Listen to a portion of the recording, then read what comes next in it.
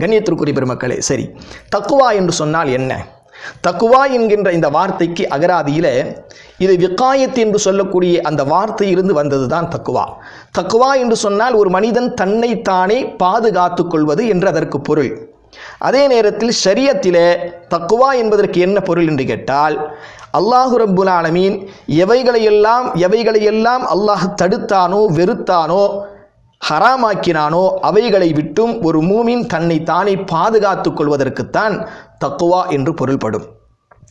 சலஃபுகள் இந்த தக்குவாவுக்கு ஒரு அருமையான ஒரு விளக்கத்தை சொல்லுவார்கள். உமரது அல்லாஹு தாலான அவர்கள் உபையிபுனு காபு என்று சொல்லக்கூடிய ஒரு நபித்தோழரை பார்த்து கேட்பார். உபையிபுனு காபு அவர்களே தக்குவா என்று சொன்னால் என்ன என்று கேட்பார். மத் தக்குவா தக்குவா என்று சொன்னால் என்ன என்று கேட்பார். அப்பொழுது உபையபன் காபரதி அல்லாஹு தாலானவர்கள் திரும்பவும் மீண்டும் அந்த உமரதி அல்லாஹு தாலானவர்களை பார்த்து கேட்பார்கள்.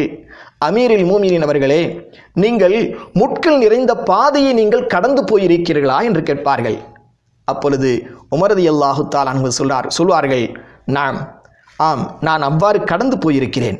முட்கள் நிறைந்த பாதையை நான் கடந்து போயிருக்கிறேன். என்று சொன்ன பொழுது எப்படி நீங்கள் கடந்து போவீர்கள்? முட்கள் நிறைந்த அந்த பகுதியை கட கடக்கின்ற பொழுது எப்படி நீங்கள் கடந்து போவீர்கள் என்று கேட்ட பொழுது மிக பேணுதலோடு மிக கவனத்தோடு என்னுடைய உடலிலோ என்னுடைய உடையிலோ அங்கே கிடைக்கக்கூடிய முட்கள் எல்லாம் பட்டு விடாமல் மிக கவனத்தோடு பேணுதலோடு தான் நான் அந்த பாதையை கடப்பேன் என்று சொன்னார்கள். அப்பொழுது உபயிபன் காபிரதி அல்லாஹு தாலா சொல்வார்கள் தில்கஹிய தக்குவா ஆம் அதுதான் தக்குவா என்று சொல்வார்கள். ஆம் சகோதரிகளே நம்முடைய வாழ்க்கையிலே ஒரு மூமினுடைய வாழ்க்கையிலே அவன் கொண்டிருக்கின்ற அந்த ஈமானும் பாழாகி விடாமல் ஈமானும் கிட்டி விடாமல் அவன் செய்யக்கூடிய நல்ல அமல்களும் பாழாகி விடாமல் சூழ்நிலைகள் என்கின்ற அந்த முட்கள் நாலாபுரமும் சூழ்ந்திருக்க அவைகளில் எவைகளிலும் சிக்கிவிடாமல் விலகி இருந்து தன்னுடைய வாழ்க்கையை மிக கவனத்தோடு பயணிப்பது இருக்கிறது. அதுதான் தக்குவா.